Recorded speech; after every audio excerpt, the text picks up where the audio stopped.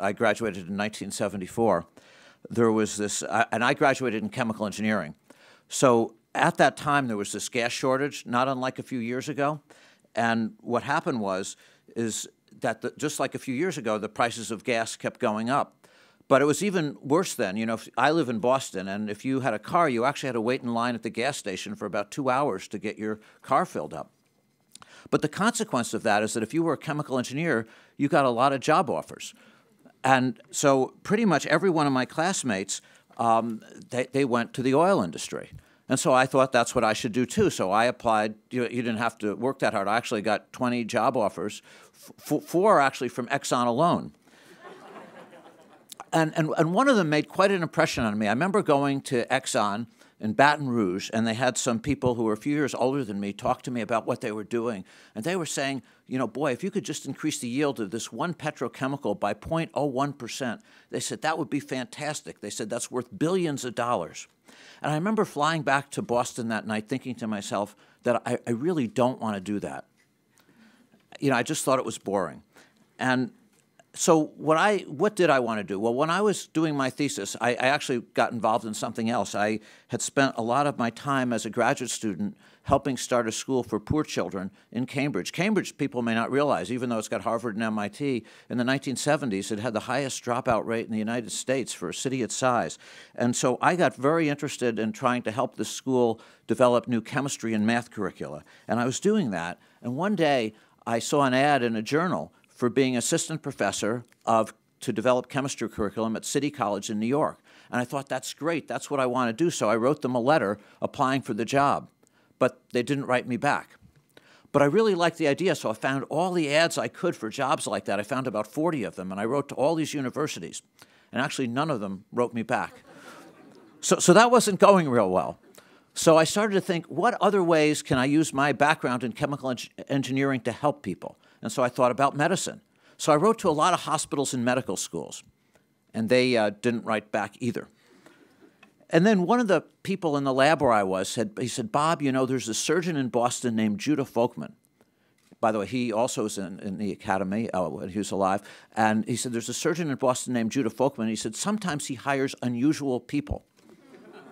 he, he actually thought very highly of, of, of, he, he thought very highly of Dr. Folkman. I won't say what he thought about me. So, so, so, so, so anyhow, when I went, so, so I, was actually, I was actually the only engineer in Boston Children's Hospital, uh, and I began working on two projects that were actually related. One, to see if we could actually discover the first substance that could stop cancer blood vessels from growing and hopefully then stop cancer growth. And two, to develop plastic systems, polymer systems that could slowly release these and other large molecules for a long time so that we could test uh, the, these substances. Now, before I started working on this problem, no one had been able to develop ways to continuously release these substances for a long time from biocompatible polymers. And in fact, uh, if you look in the scientific literature, they said actually it's impossible to do that. It's possible to release these molecules. In fact, really the only thing I had going for me is, is I hadn't read that literature. And so I, I actually spent about two years working on the project, and I actually found over 200 different ways to get it to not work.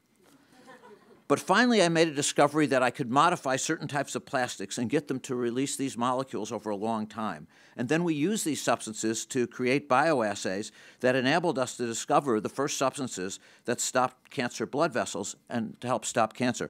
About two years after I started working on this polymer delivery project, I got asked to give a, a talk to a very distinguished audience of polymer scientists at, and engineers in, in Michigan, actually.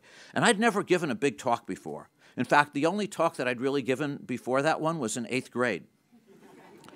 And, and that was a minute and a half speech, and it, it didn't, didn't go real well. I, I, remember the night before that eighth grade speech, I uh, stood in front of my parents' mirror for about four hours and I kept reciting it over and over again. And the next day, I got asked to get, when I got up in front of the class, I, I you know, I started, you know, reciting it. And I did okay for the first minute and two seconds, but then I couldn't remember the next word. I just froze. So I stood up there for another minute until the teacher uh, told me to sit down and gave me a pretty bad grade. I, I think, think it was an F. So, so now when this big talk in Michigan came many years later, I was very nervous. I kept practicing the talk over and over into a tape recorder, and finally the day came and I gave it. And I was pretty pleased by the end of the talk this time. I didn't forget too much what I was going to say. I didn't stammer too much. So I thought when I was done with this scientific talk that all these older, distinguished chemists and engineers, being uh, nice people, um, actually, I should tell you, there are probably very few scientists in the audience because usually when I say that, people know that scientists aren't always so nice. Uh, but uh, uh, so I, I thought they'd actually want to encourage me, this young guy. But actually, when I got done with the talk, a number of these scientists came up and they said, We don't believe anything you just said. They said, You can't do that. They can't get these things through polymers. And it wasn't until several years later that people began repeating what we did to the question shifted to how. Um, how could this happen? And I spent a lot of my early career at MIT trying to figure that out. Also, shortly after this talk, I tried to get grant money to help uh, do uh, different projects. And I remember uh, writing one grant to the NIH on cancer, and I got the reviews back, which were really, really negative. They not only didn't give me the money, they said, well, how could Dr. Langer do this? They said, he's a chemical engineer. He doesn't know anything about biology, and he knows even less about cancer. I, I, wasn't sure how that was possible to know less than nothing, but somehow that was the review. Um, anyhow, also when I was done with uh, my postdoctoral work, I applied for different faculty positions to different chemical engineering departments. But when I did that, I had a lot of trouble getting a job because they all felt I wasn't doing engineering. They felt it was more biology. So I ended up joining what was uh, uh called the Nutrition and Food Science Department at MIT. But in that department, what happened was uh, about a year after I got the position, the chairman of the department left. So then a number of the senior members of the department decided they'd give me advice. And their advice was I should start looking for a new job. So, so there I was. I was getting my grants turned down. People didn't believe in my research. It appeared like I wasn't even going to get to be an associate professor. But fortunately, uh, uh, what happened over the next few years is different uh, people in, the, in academics and in pharmaceutical companies started using a lot of our principles, and things slowly began to turn around. I also, I also wanted, and very much in keeping with this conference, I wanted to have our inventions to get to the point where they could really help people. And it's very difficult because it takes a lot of money to do that. So I began writing patents on our work. And today we've licensed or sub-licensed these patents to actually 250 different companies. And, I, and actually with my students, we even started uh, about 25 companies. And I should, and I should add that uh, when I first started doing this as a professor in the early 80s, uh, most academic scientists looked down upon it. They said, you know, professors shouldn't do things like that. But today, these companies have made all kinds of products that treat patients with, and I'll mention some of this, with cancer, heart disease, and many other sicknesses. They've created tens of thousands of jobs. Let me just give you two examples. In the first example, I'll just expand a little bit about what I said earlier, where we developed polymer systems that could release large molecules. One of the big challenges is getting a patent. That's actually key in a lot of scientific innovation. So we actually filed the first patent in the history of Boston Children's Hospital in 1976, and the patent office turned it down they actually turned it down five times between 1976 and 1981. And my lawyer just said we should give up. But I, I, I, don't like to give up that easily. So I started thinking about other ways, not even scientific ways that, that we could get the patent allowed. Nothing, nothing illegal. But, um, but anyhow, so what the patent examiner said, because he didn't understand the science that well, is that what we did was obvious. So I thought, how could he think that? Because every time I gave a talk on this, everybody told me it was impossible, it couldn't work. And I wondered whether scientists had ever written that down, you know, not just insult me to my face, whether they'd actually ever even written it down. So, so, so, I, I, I so I scoured the literature to see if what anybody had written on me. And actually, I found an article in 1979, a number of years after we wrote our article, that actually was very interesting because they referred to our work and they wrote, and I'll just give you a quote. They said, Folkman uh, and Langer uh, myself, have reported some surprising results, they use those words, that clearly demonstrate the opposite of what scientists had thought before. So I showed that quote to our lawyer, and he said, That's very interesting. He said, I'm going to fly down and talk to the patent examiner. And the patent examiner said to the lawyer, He said, You know, he said, I didn't realize that. He said, If Dr. Langer can get affidavits from the five people who wrote that quote, that they really wrote that quote, I will allow that patent. And so I wrote them, and all five of them were nice enough to say they really wrote it. Um, and, we, and, and, and, and, we got the patent. And then what we did, and I think this is also interesting, you know, I was pretty naive about this. I'd worked on this for nine or 10 years. Nobody was using it. But then one company and then a second company, one in animal health and one in human health, wanted to license it. And they actually gave me a consulting fee and grant money. And I was so excited about this. I, I went, you know, I got a better car and, and, and I had money to support our lab. But these companies were very large. They were multi-billion dollar companies. And what happened was, is even though they gave us grant money at MIT, uh, uh, that, that what happened is they, they themselves would do maybe one or two experiments over a year or two, and if they didn't work out right, and in science most things don't work out right the first time, they just gave up. So a few years later, one of my friends at MIT, Alex Klibanov, he said, Bob, why don't we just start a company ourselves? So I was able to get these patents back, and we started a little company called Enzytech, and that later merged with our downstairs neighbor to become Alkermes. And they use these microspheres to develop drug delivery systems for all kinds of drugs.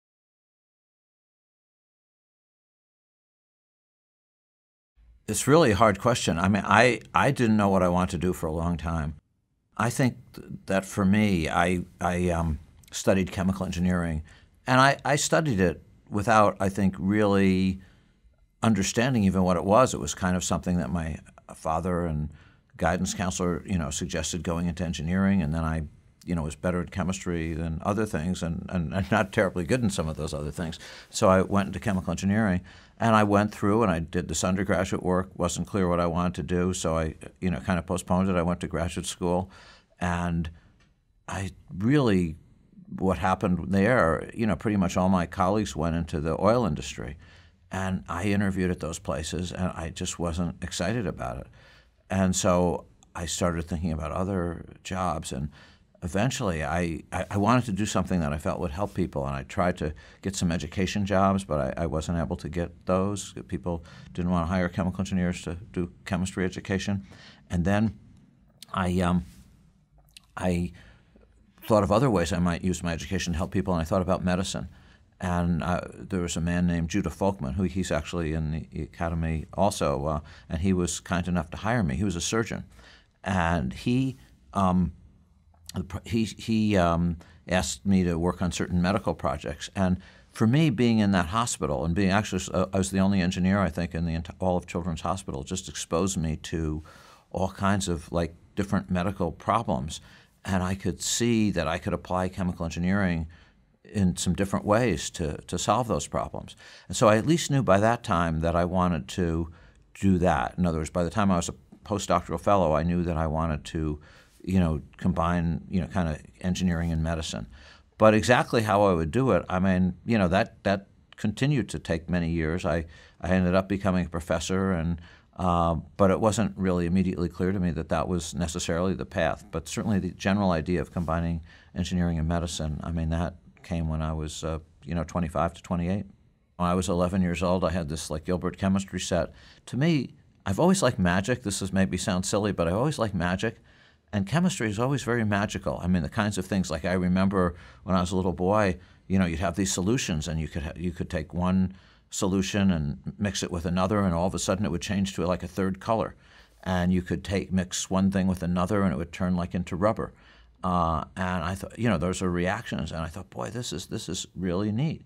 And I, I guess I was just always fascinated with that, and and so I think, you know, maybe just the visualization, even when I didn't understand things that well, I, I, I thought was fun and exciting. And then I guess when I actually took chemistry, there was something, I don't want to say magical about it, but something that, um, you know, I, I enjoyed solving the problems, that the chemistry problems, and I enjoyed, you know, reading about some of some of the things, not all of the things, and I, I was excited about what it, what it could do.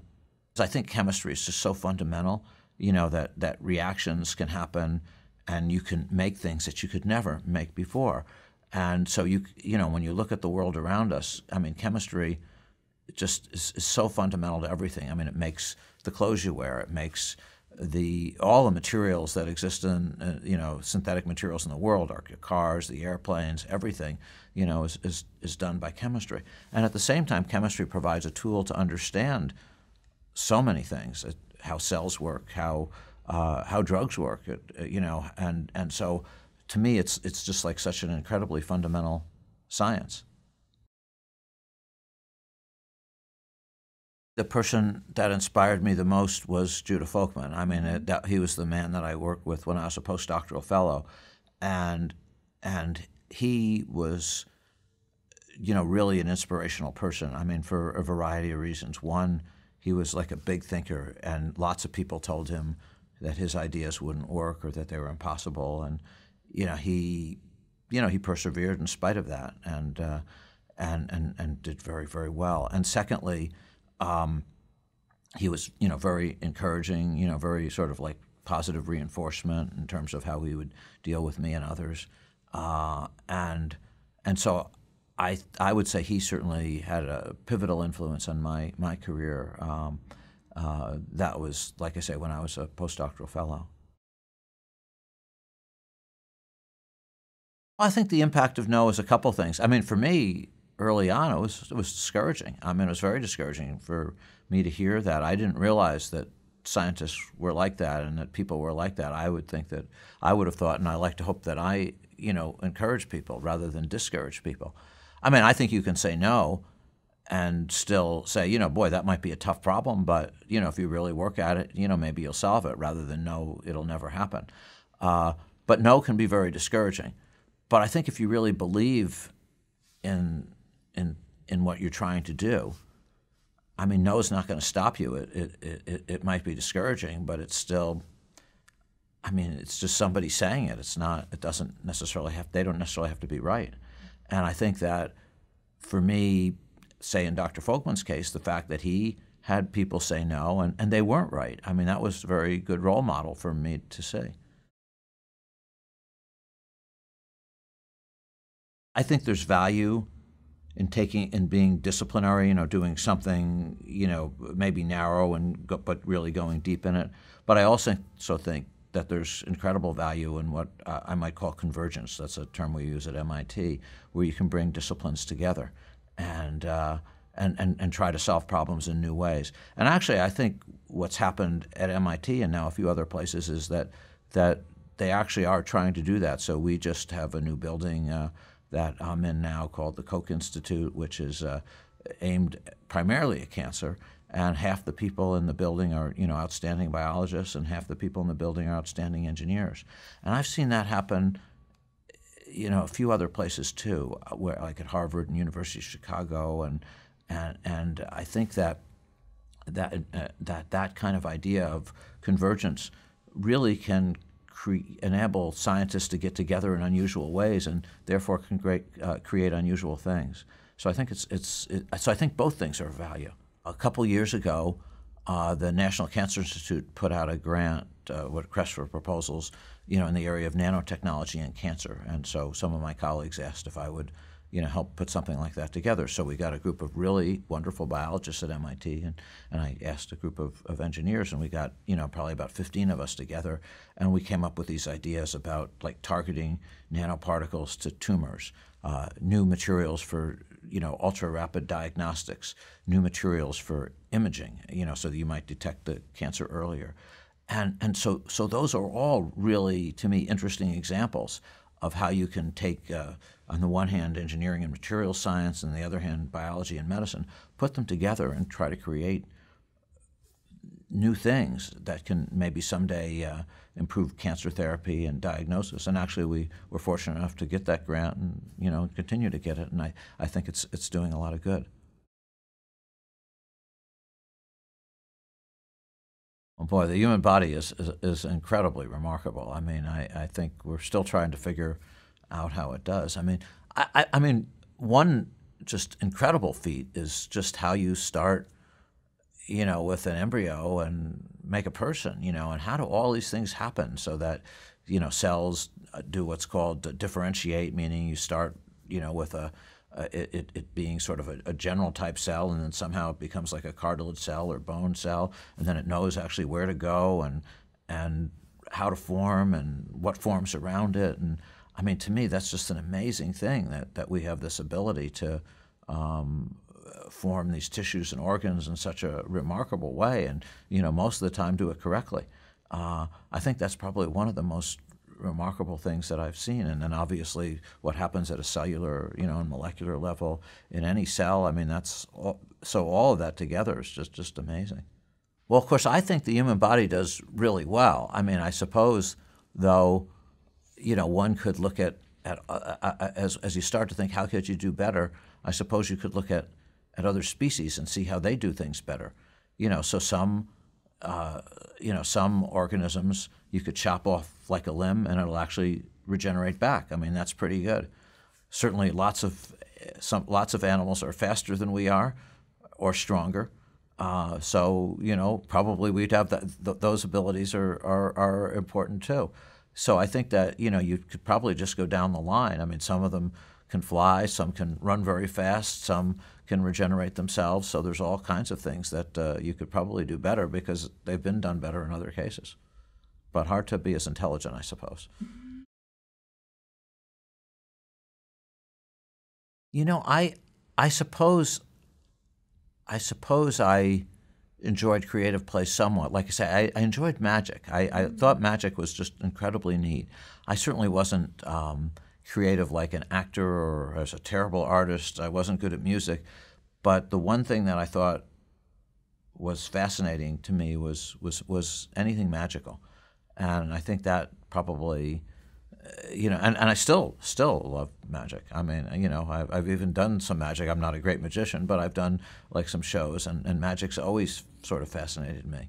So that might be the one aspect where I was, you know, a little creative. I probably did get some, you know, small magic uh, things, but and but, and there were lots of things though, maybe tricks. You know, so uh, it could be anything from you know chemistry tricks like that could change color. But I've but for example, I've loved card tricks, and there are a whole bunch of card tricks that uh, that I think are terrific. I mean, there are card tricks where um, you can do uh, make it seem like somebody has extrasensory perception. There's card tricks that you can what's called the invisible pack, where there's a certain card that you'll imagine that's that's the only card that's turned upside down in the deck, and in fact, it is the only card turned upside down in the deck. But so so those are some. I mean, but I I, I like you know watching magic and, and, and even doing it. I think my dad and my grandfather you know, I don't know that they encouraged me to be creative per se, but they certainly encouraged me to think. You know, they encouraged me, like, they'd play math games with me and things like that. And I think that, uh, you know, just encouraging you to think and encourage, encouraging you in games and things like that, I think that, that probably helped some. And, and, and I think it encouraged me to, you know, want to do more. And, and, and, and it certainly made me like math a lot when I was young.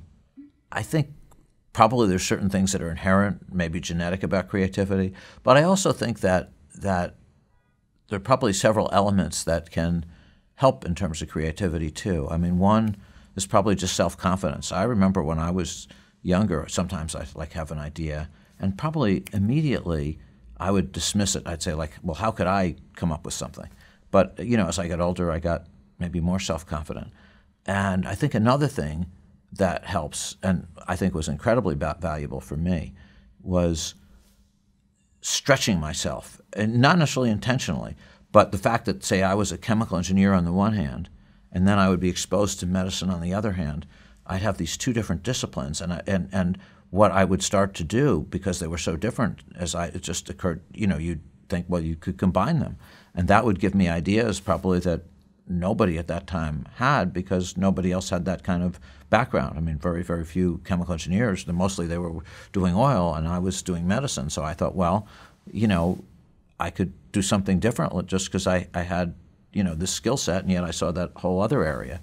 And I think stretching yourself, uh, intentionally or unintentionally, in, in, in new areas, seeing new things that, that people haven't seen before, and yet knowing something else, you know, I, th- I think that, that, that that probably helped uh, me do it. So let me let me give uh, uh, one example, kind of a broad kind of example. So I was doing work on materials a little bit, and I was in a hospital, and I was curious, you know, how do materials find their way into medicine? And I was a chemical engineer. I thought, well, I was a young guy. I thought must be chemists or chemical engineers. But as I looked into this, I found that was almost never true. When I looked at this, I found pretty much in the 20th century, when I was doing work, that almost every material that ever came into medicine was actually driven by a medical doctor.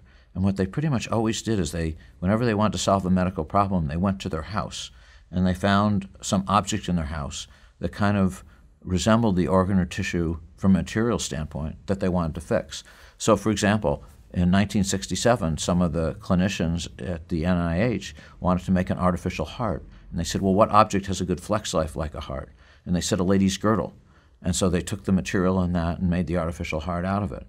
That, of course, has led to some problems. When blood hits the surface of the artificial heart, it forms a clot. The clot can go to the patient's brain, they can get a stroke, and they can die. Another example is uh, one of the materials used in a, in a woman's breast implant is actually a mattress stuffing because it's squishy. Uh, it's a polyether urethane, so uh, polyurethane. So I was a chemical engineer. I didn't think that way. I thought, you know, one of the things you learn in chemical engineering is kind of design. And so what I started saying is, you know, rather than take it from your house, why don't you ask the question, what do you really want in this material from an engineering standpoint, chemistry standpoint, biology standpoint? You know, we could put those on the board, write this out, and say, well, these are the properties I want. I'm going to then synthesize it and make it from scratch. And so that was kind of like almost this paradigm shift that I started thinking about, about how one could you know, make new kinds of medical materials, and that would lead to new kinds of implants that we got involved in to develop to treat cancer and a whole bunch of other things. I can give more examples too, but that's a it's kind of a high level example. I think anything in science, there's like this long road. But there are times that I can think of when there are moments that people call them in science like aha moment or something like that, where something clicks.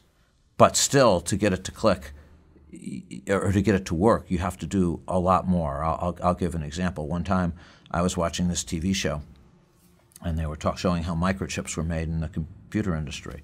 And I thought to myself, in like an instant, boy, this would be a, a very neat way to, you know, do drug delivery implants, that you could actually have little chips with drugs in them and maybe multiple drugs. So you could literally, literally have a pharmacy on a chip and you could do remote control drug delivery. Maybe someday even have sensors on the chip.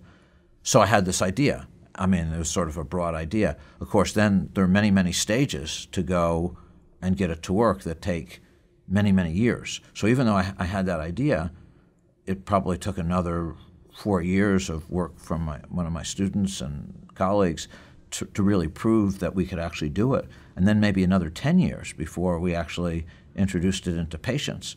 You know, but now I think, you know, we just did the first clinical trial over the past year, you know, and it's amazing. You can actually have a cell phone that can, you know, program, uh, you know, tell the chip how much to deliver. And I expect in another 10 years we'll see these, this kinds of ideas more widely used. And, you know, maybe in another 20 years you'll have sensors on the chips that will actually, you know, self-tell the chips what to do in, in, in different situations. So I think in and, and, that's just one of many examples. But I think in science, you know, there, there are places where you sort of get this idea, and but then you have to go do it. And and I, I could give other examples like that too. But but that's a, but that's that's sort of how it works for me, for me.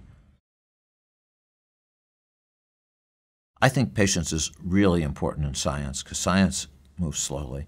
In fact, what I usually say uh, to people is some of the probably most successful scientists are the ones that know how to deal with failure well, because it's easy to feel good when you succeed. I mean, that's an easy thing, but but you're probably going to fail in science a lot more than you succeed, and so you really have to learn how to deal with it and not let it beat you. And so I think patience is, is incredibly important. I think that everybody likes quick gratification, but I think that when people really go through um, a scientific training, like doing, say, a doctoral thesis, I mean, you learn at that time, or really through any kind of research, that science moves slowly. I mean, it just can't help but do that.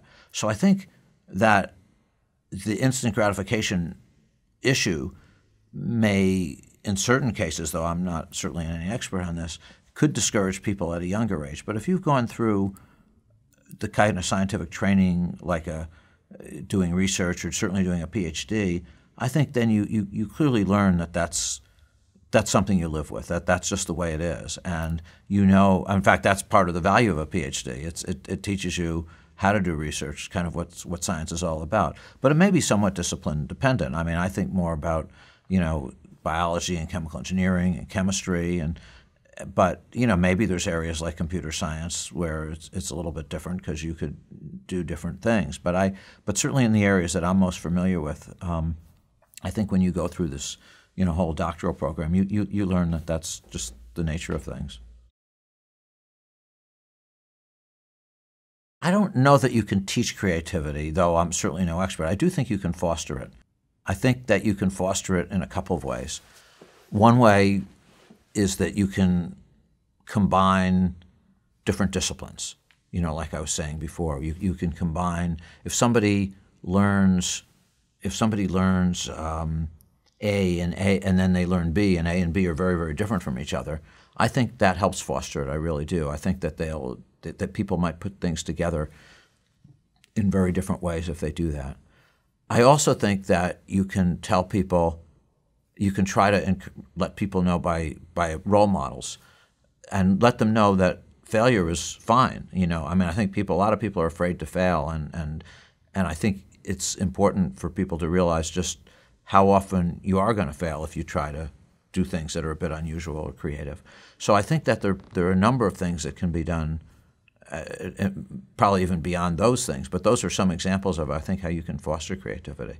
You know, just uh, you know, and, and also I think a third way is just putting people together in very different groups. In other words, if you put a, a group of of people with very different backgrounds and disciplines together, and you get them talking, uh, and they're bright and they're told like you know you can do anything. I think that also probably will encourage creativity. So I think there's a number of things that can encourage it. Some of social media probably dampens it. I'm just thinking as a, as a dad, you know, it's like you see your kids on all these things and communicating that way, and when probably they could be doing other things. So I think in that way it, it, it dampens it. On the other hand, I think some of social media in its own right is creative, and I think communication with different kinds of people over different kinds of things can also encourage creativity. So I think it can really really go both ways. I think creativity can stagnate. I think so. There's this creative instant or instances, and then there's the long road of taking that idea and, and, and making it happen.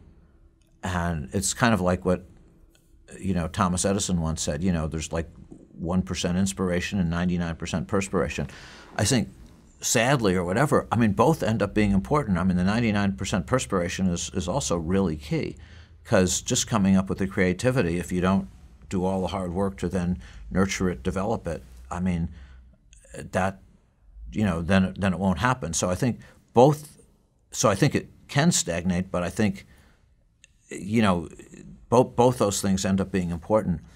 I think to nurture it, you probably want to create environments that where just that ideas are valued. Um, I mean, universities are a pretty good example of that. They're companies.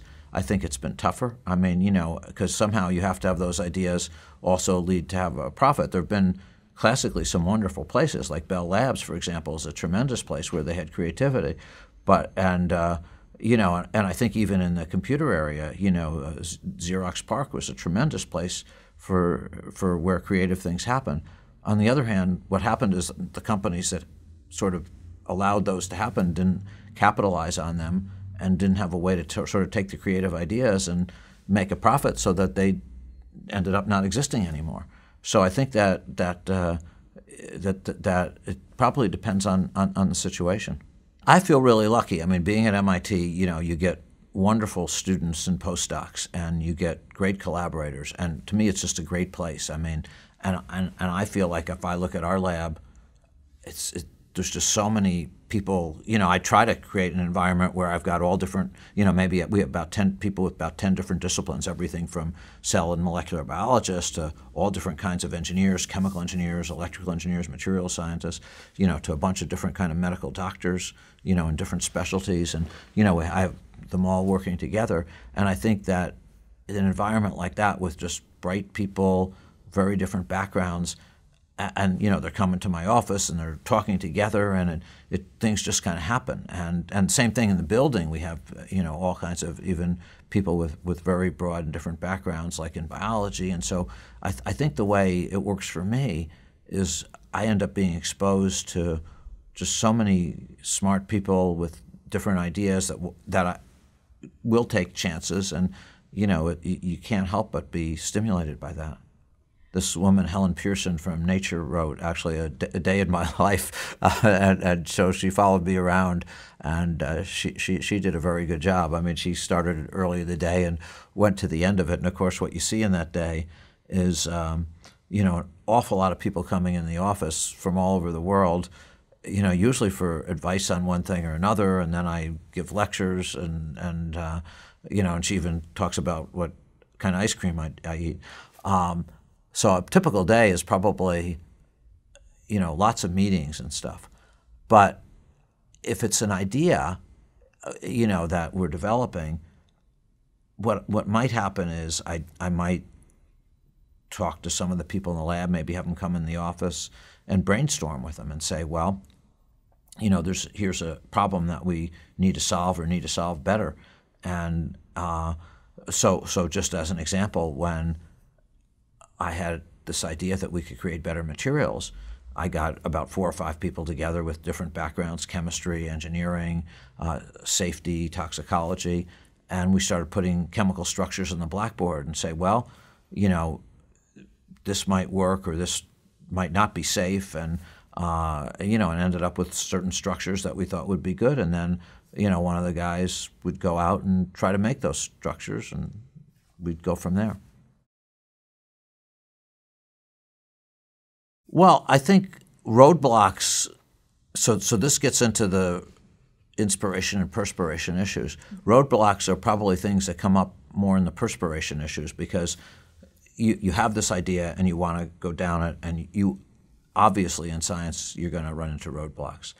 And I think you have to just say, like, it's going to happen. And actually, it'll probably take some creativity to overcome those roadblocks. If you're doing something in chemistry, I mean, you might try like one synthetic route, may not work, then maybe you'll try another. Or in our case, one of the things that we did is we created something uh, called uh, high throughput ways of doing things, which means that you know we know a lot of things aren't going to work, so we're going to do thousands of them, and we'll find ones, you know, something that works out of those thousands. And so there's different strategies that you can use, and in, in and of themselves, those might be creative because they weren't done before, or you're going at them in a whole new way. And I think you have to start thinking that way, you know, and so you'll come up with creativity to hopefully overcome those roadblocks. But you can never give up. I think life experience plays a significant role in creativity in a couple ways. One is that if you have areas that are very different, I think you may put them together in different ways. And again, if you've lived longer, you, you just might say, well, gee, you know, I, I remember um, seeing this and I remember seeing that. And, and, and maybe I'll give you another example in just a second. And so I think that that's one way. And I think a second way that life experience is helpful is, is, is the recognition that things take time, you know, that they're not fast and that failure often can happen. But I'll, let me uh, give an example of uh, sort of for me about life experience and how I, I got an idea once. And, and so I, you know, did things on materials and, and I also knew something about medicine. So I had, you know, these two different backgrounds.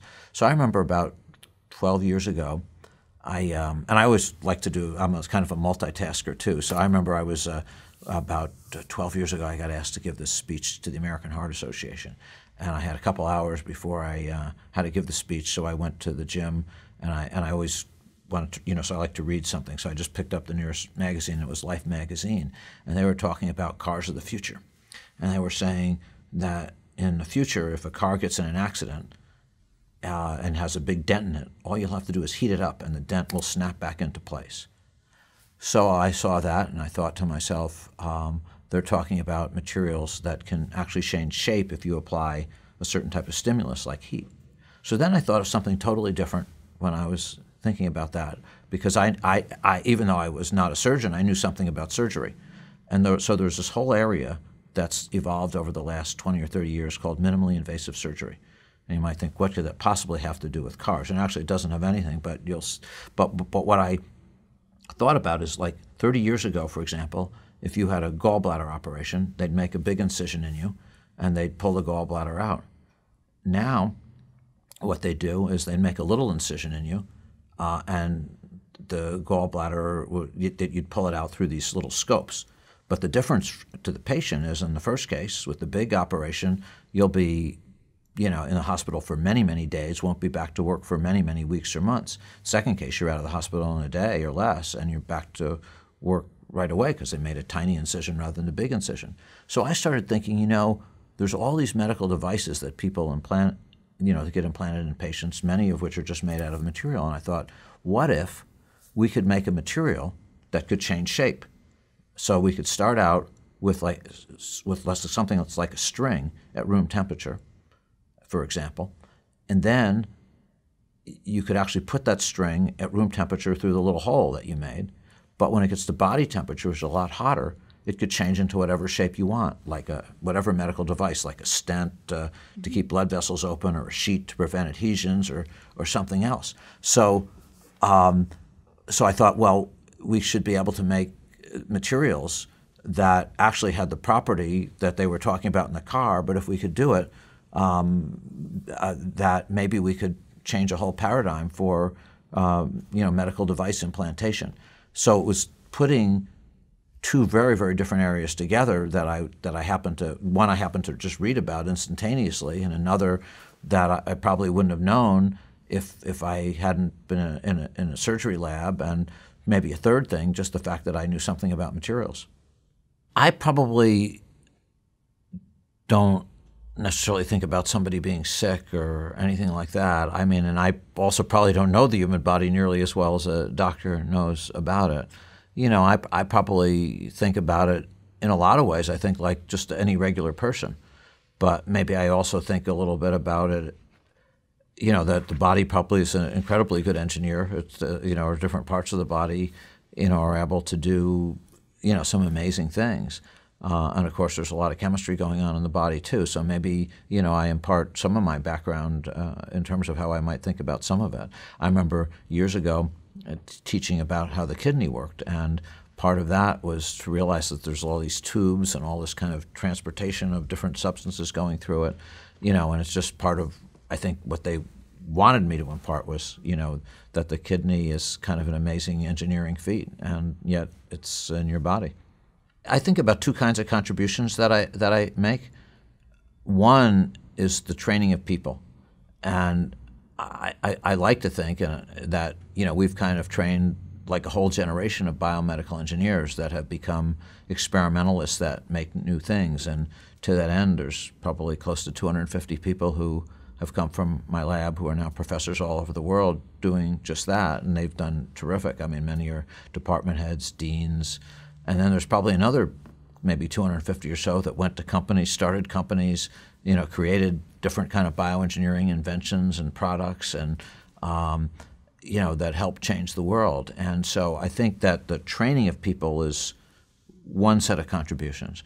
And then the other set of contributions are probably the ideas and the inventions, the the what the fact that you can use materials to uh, come up with whole new ways of maybe getting drugs into cells or maybe making drugs a lot safer or make them work a lot better, and and and you know the ideas of using nanotechnology in medicine, and then this whole idea that uh, Jay Vacanti and I came up with about use combining polymers and, and, mammalian cells to create new tissues and organs, you know, which is tissue engineering. So I think that, that, that both kinds of things, the training of individuals and then, you know, real specific ideas that might ultimately, in, in some cases, have led to new kinds of, of products that help, help people. To me, when people leave the lab, I mean, the way I think about it is that there's a couple sets of skills. One is how to take a problem from the beginning to end uh, and it's often a long road, but how you take a problem from beginning to end,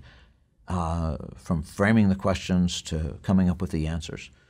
But also, I, I, hope that when they're there, they, they, they think about big questions, you know, that they want to leave there and not do things that are incremental, but that are things that, that are really big and maybe can have a huge impact on the world.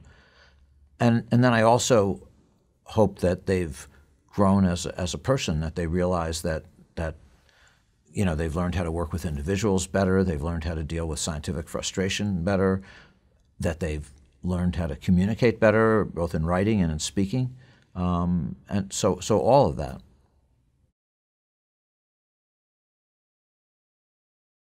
So polymers in, in medicine, I mean, pretty much any medical device uses materials, and, and sometimes materials make it possible to even create a medical device.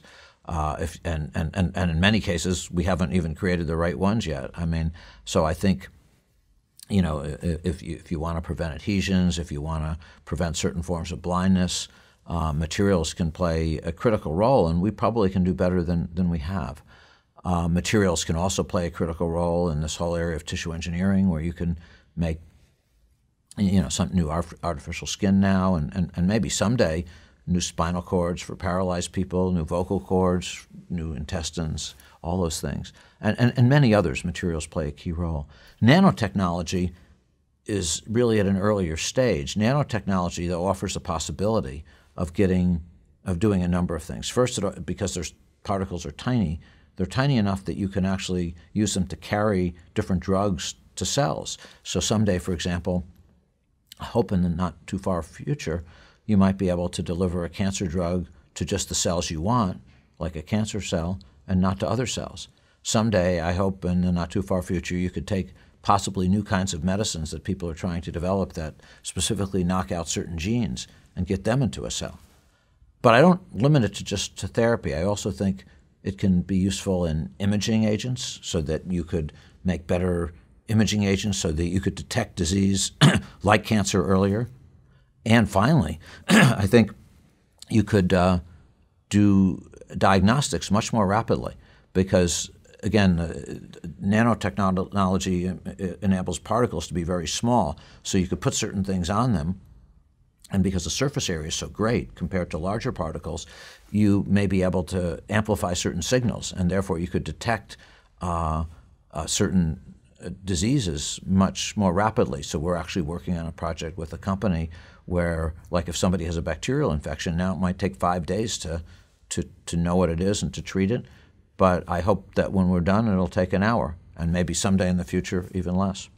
I think a lot of these new discoveries that we're involved in and that many other scientists are involved in will change how people think about medicine. I mean, people are talking about, for example, personalized medicine, you know, and, and, and, and you know, where we understand the genome better and that could lead to new treatments. And some of the things that we're talking about with tissue engineering, where you could make new tissues or organs, could provide all kinds of potentially new treatments. So I think it will, as we move forth in the future, lead to new kinds of thinking about medical treatment.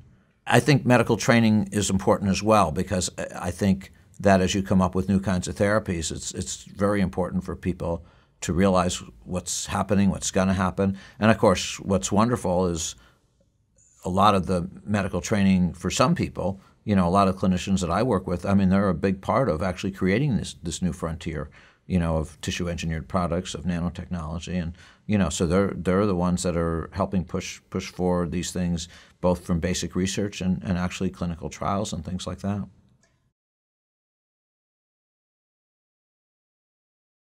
I remember early on when I was doing this postdoctoral work, and the goal was to see if we could ever find a substance, you know, none existed before, or nobody had ever found one, that could stop blood vessels from growing. And this was something we thought would potentially lead to a new way of stopping cancer. And we didn't really know you know, it was a, sort of a theory that my advisor, Dr. Folkman, had. And I remember we did these studies where we put tumors in, in these animals and we could actually visualize the blood vessels. And I remember what happened is we were infusing the substance. I must have spent a year isolating it. Um, and we were infusing the substance and we're looking at the vessels grow. So in the control animal that just got a regular solution, when it started, there were um, hardly any blood vessels and in the example, and yet the treated one that we started with, there were actually quite a few. And so this was, say, at day four in both cases. So you look at it at day five, and you start to see the, the one with very few blood vessels in the control starting to catch up a little by day six. It was maybe the same. By day seven, there were a lot more. By day eight, quite a lot more. And by ten, day 10, you know, was, the control was very, very large in terms of blood vessels, and yet the treated animal still was right where it was before. You know, had, had, had and, and, and that was an incredibly exciting moment because you could see uh, each of those days was actually exciting because you could see before your eyes that something did exist, you know, and you could visualize it. I mean, see it with your eyes that this was really happening and that substances would exist that could stop blood vessels from growing. And that, yeah, so, and, and ultimately that would lead to a whole new class of molecules. But I mean, that was, that was a long time ago, but it was very exciting. I think one of the great challenges and great frontiers is what I'll call regenerative medicine tissue engineering. Mm-hmm.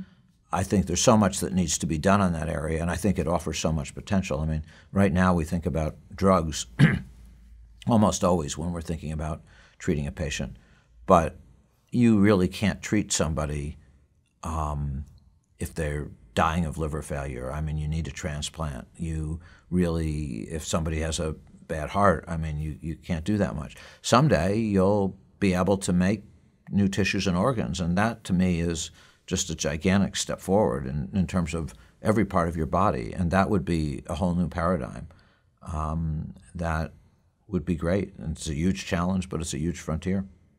It's not to me about necessarily living that long, it's just li- living better. I mean, the tragedy is that sometimes it's young people who have these problems. Mm-hmm. And you, you see um, you know, so I look at most of, of the idea of regenerative medicine and tissue engineering as helping people who, you know, might not live the kind of lives, well, first of all, might not live at all, and secondly, have a better life. I mean, could you make uh, an artificial pancreas so that people, diabetics, wouldn't get complications, go blind, uh, have to give shots every day? Could you, um, you know, make uh, a new liver so that people wouldn't have to have a transplant and take immunosuppressives all the time and, and, and maybe die? Uh, can you prevent diseases like even uh, ALS and things like that? I mean, I, th- I, think you could go on and on. and so to me, it's, it's, it's really stopping problems like that that you just want – people to have health, happier, healthier lives. And, and sometimes there are accidents. So we have a big project, for example, with the Army, uh, Dr. Vacanti and myself, where people come back, you know, again, young people from Afghanistan or Iraq, and they have don't have ears and things like that. So you could make, you know, new cartilage for them. I mean, so I think there's so many situations that you want to help people, and you know, and, and that I think is the main reason that you want to see these things happen but it may, you know, also lead to healthier lives at, at any stage.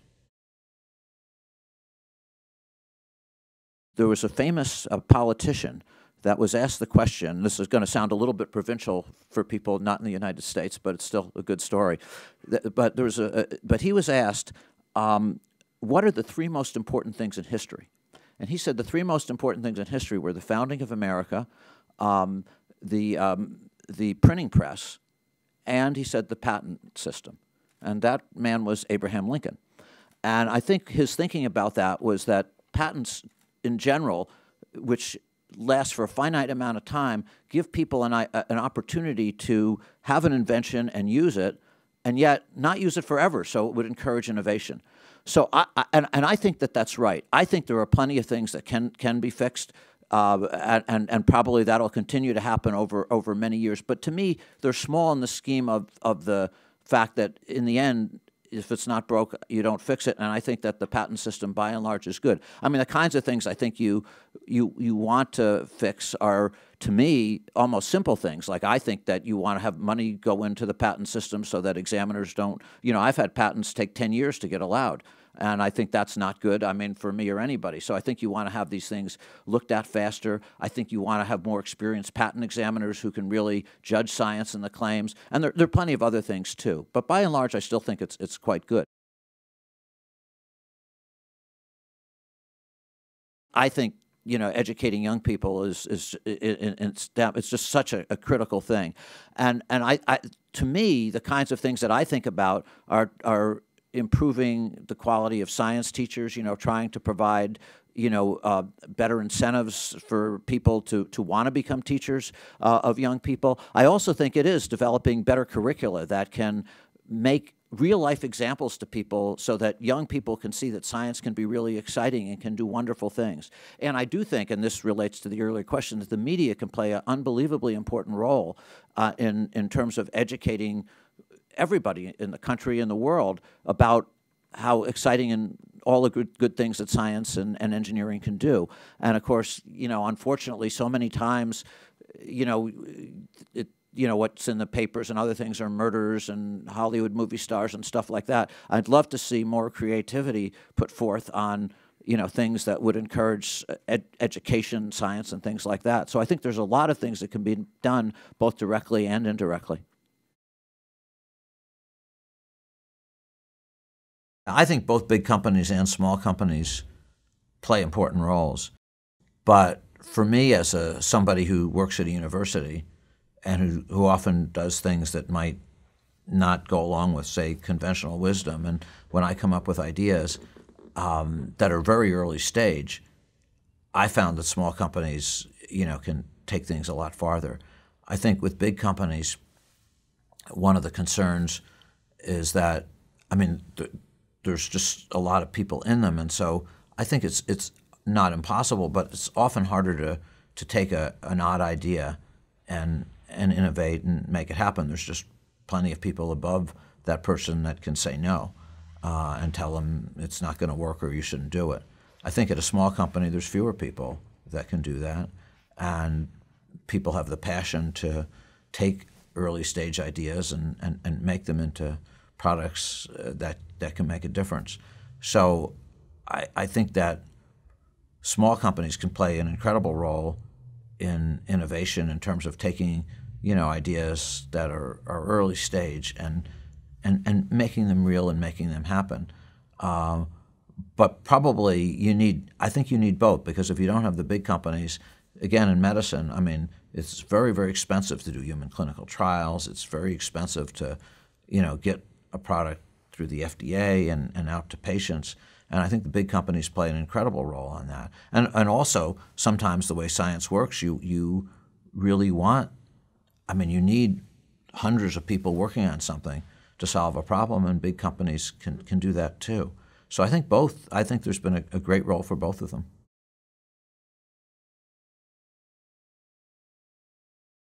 I think it depends how you look at it. I think, I, I think that invention, I mean, and there's different kinds of inventions. I mean, Thomas Edison, you know, did things like light bulbs that you could see immediately whether they might work or not, uh, you know, whereas some of the things that you, you know, when you're trying to make new drugs or medical devices, it may take a long time to see if it works.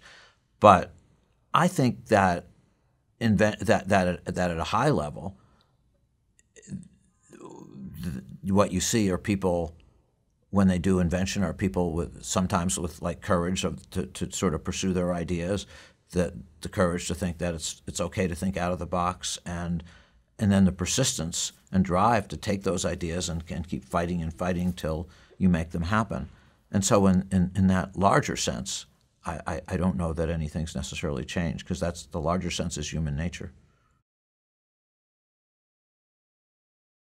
Nature is incredibly smart and uh, in, in, in, every way, and so I think um, I think that that but that I think is also a good thing. I mean, because we can learn from nature, you know, and if we're able to unlock the secrets of nature, we can also, you know, invent even better things. So I think I think it cuts both ways. Uh, I, I think we can learn so much from what happens in nature. You know, right now we're, you know, and maybe always we won't be as smart as, as, as nature, but we can see what happens in nature and to start to learn those things, you know, make discoveries that can just have profound effects on, on human life.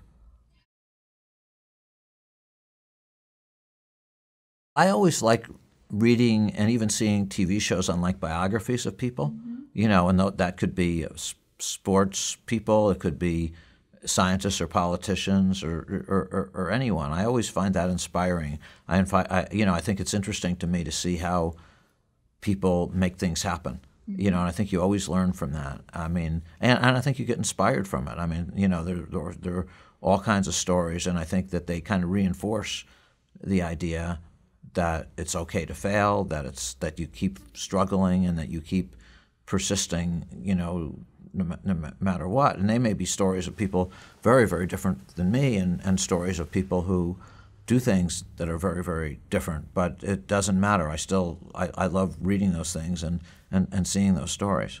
There are a lot of people I found interesting and inspiring.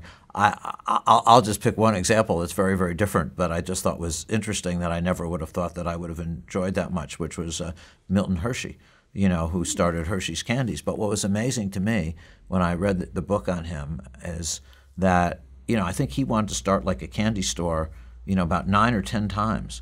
And every time he tried, he failed. You know, I mean, and finally, of course, he succeeded. But what was interesting was just the persistence. And then, of course, he, he made it terrific. And by the way, I don't even like Hershey's chocolate that much, but I just thought it was such an interesting thing to, you know. And then he set up all these orphanages and things like that. But I just thought that stories of of uh, incredible persistence, uh, and and there there are lots. I mean, I think you know stories of Abraham Lincoln. I I, I you know I certainly have found inspiring, and, and and and and really many many people. I mean, but I think the struggle, the watching of how they they they do things. Um, you know, to me, it's always it's, it's always interesting, and you know, Thomas Edison. But there's lot there's lots of people. When I graduated um, college, uh, graduate school, you know, the natural thing was to go into the oil industry, and obviously that that certainly could have been something I would do. I thought about it when I went to the interviews. That's almost what everybody did, and that seemed like the norm. So I thought about it. That might have been one thing, but I clearly went through that analysis and decided I wouldn't do it. So some of the things I, I thought about when you know, and I ended up taking a postdoctoral job at, at the hospital. But some of the things I ta- thought about actually were almost silly things, like take a year off because I couldn't figure out what I wanted to do, and work in an ice cream parlor because I always liked ice cream. And uh, and, and I did get one other faculty job, uh, actually a couple, but one faculty job I, I thought about a little bit was I got asked uh, to be an assistant professor of what's called enology and viticulture at the University of California at Davis. And my dad actually ran a liquor store when I was a little boy, and so that intrigued me, but I decided I wasn't going to do that either. But, that, but those are all possible paths that I, I, I could have gone down. To me, the American dream means that you can do anything you want, anything you, you dream of. I mean, I think in particular, one of the wonderful things I think about, you know, in terms of the American dream, is that somebody can be born, you know, with nothing, you know, or into adversity, and they can rise up and change the world. You know, could be to create a company, make a, a great discovery. Uh, I particularly think about people who might have had very minimal education, uh, you know, that they're born poor, and yet that they could dream and actually accomplish, you know, creating companies that are, uh, you know, incredible. And, you know, you see those things happen. When I was an undergraduate, actually at Cornell. I um, got asked to be, I was a teaching assistant when I was a senior, and I loved it. I, I, uh, I just love working with the students. I mean, they were a year younger than me, but I could see that I could make a difference. And so when I came to Boston, I wanted to think about ways that I could do teaching and tutoring. And so the first year I was there, I got involved in some tutoring at, at, at places like Roxbury where there were poor kids, and I, and I loved that too. And then my second year as a, as a graduate student, uh, there was a group of people wanting to start a school for poor kids in Cambridge. Cambridge, oddly enough, has, you know, at that time, uh, even though it has Harvard and MIT in it, had the highest high school dropout rate in the country for a city its size, 35 percent. And say they asked me if I would help on math and science because they knew of some of the tutoring I did, and I love that too. I, I just uh, I just really you know enjoyed working with the kids and coming up with ideas about how I could make math interesting and chemistry interesting. A great teacher probably could do a couple things number one, I think it's important that the students recognize that the teacher probably really cares about them, you know, however they do it, that, that, that they're, they're doing it and that they that the teacher really care. But I also think there's a, a number of other skills that such a person can have. I think it's important that they can make things interesting and ideally make them even relevant to what the kids are, are interested in. Uh, and I think it's important that over the course of a term, however long the person's teaching, that you have a, a, a program, you know, whether it's in a textbook or, or lessons, you know, that, that they can learn something and feel that they've completed it and, and, and, and really come away feeling that I've learned chemistry or physics or English or some, you know, some aspect of it. So I think all those things. It does concern me that the United States isn't doing as well in things like particularly math and science education as, as some other countries. And I think part of it is um, due, some of it's just due to resources that I don't know that we put as much into, you know, teaching at, you know, in terms of financial resources at to, to kids, to teachers at lower, at younger levels, like at, I'm not, yeah, like uh, grammar school teachers and high school teachers. I think part of it is also the media. I think the media, you know, glamour, especially in our country, uh, really glamorizes, um, you know, movie stars and athletes far more than you know, science and math. I mean, I, uh, you know, I, I, suppose that's natural, but other countries don't necessarily do that the same way. I think, um, you know, it's uh, sometimes things like science and math or and engineering, which is what I do, they're held in much higher respect or higher regard in some other countries than in our own. And so I think that media can play a, a, a tremendous role in that too. And so you, you, you'd like to think that as a country, we make more concerted efforts to, you know, give teachers the best training, to give them the best rewards possible, and that the media, uh, you know, hopefully in some way work harder to communicate just how great these things can be to young people.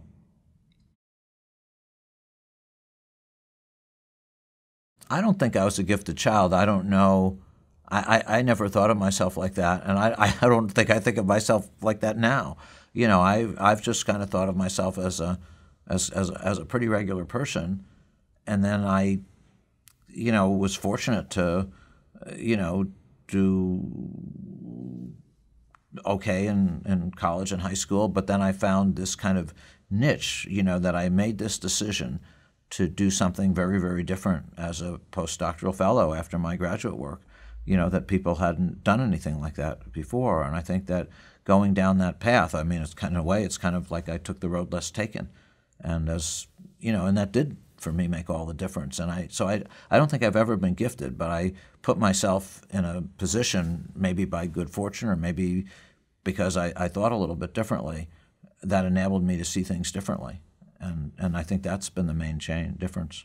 I think you can make that choice any time in your life. I mean, maybe it helps to be naive, but uh, and I certainly was. But I, I, really do believe. I mean, people can make that choice any time, and sometimes it may be that somebody goes through a career, and and they get to a certain point, and and they say they're going to change. I think the harder thing for them is if you try to change at 50 or 60, the world is maybe less willing to, you know, put you in a position where you can do those things. But I think anybody can can can do anything. I mean, that is part of the American dream. It just it's just you may have to struggle that much more if if you do it later. For me, as a scientist, the journey to here has been one of, of for me of trying to dream big dreams but, but one of the things I realize when you do this is that a lot of times, and this is not just true for science, it's probably true in any area, that when you try to dream dreams that can help change the world and, and help people and, and think about things like this, that a lot of times people will tell you that your idea is impossible, your invention's impossible, it could never work. But I think that's very rarely true. I think if you really believe in yourself, if you're persistent and work hard, that there's very little that's truly impossible.